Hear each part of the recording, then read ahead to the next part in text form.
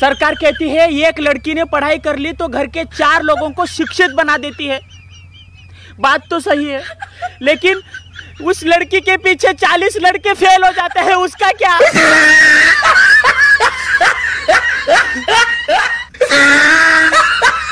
जो लड़कियाँ ये बोलती है कि मेरे पीछे तो बहुत लड़के घूमते हैं, उन लड़कियों को ये बात पता होनी चाहिए कि सस्ती चीज़ों पर ही ज़्यादा कस्टमर्स अट्रैक्ट होते हैं।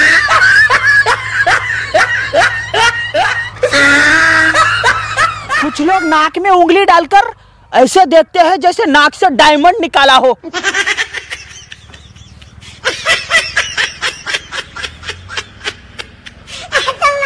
सरकार गरीबों के लिए छह करोड़ शौचालय बनवा रही है।